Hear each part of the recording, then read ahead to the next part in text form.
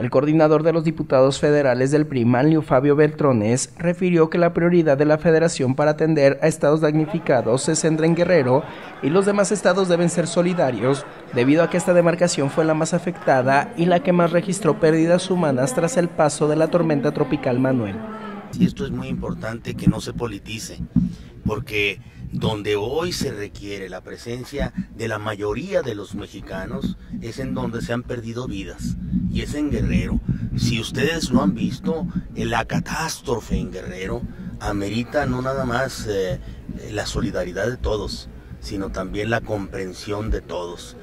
En entrevista minutos antes de participar en el informe de los legisladores federales del PRI en Michoacán, el sonorense dijo que los 17 mil millones de pesos del Fondo de Desastres Naturales son insuficientes para atender la magnitud del siniestro en todas las entidades, por lo que se requiere de declarar zonas prioritarias para inyectar recursos. El presidente los ha venido planteando de manera eh, cotidiana y se ha hablado de cómo 17 mil millones que hoy tiene el FONDEM son insuficientes para atender el tamaño, la magnitud del desastre que trajo este fenómeno meteorológico. El legislador consideró que otra manera de ayudar a los estados a resarcir los daños es por medio de ampliaciones presupuestales para los recursos que se aplicarán en la creación de infraestructura carretera para este año. En un momento fueron anunciados por eh, el gobierno federal que vendrían a ser eh, parte adicional del el uso presupuestal que se tenga para el 2013,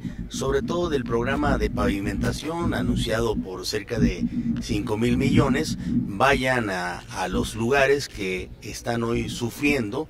Con imágenes de Leopoldo Hernández e información de Luis Felipe Rosiles, Agencia Cuadratín.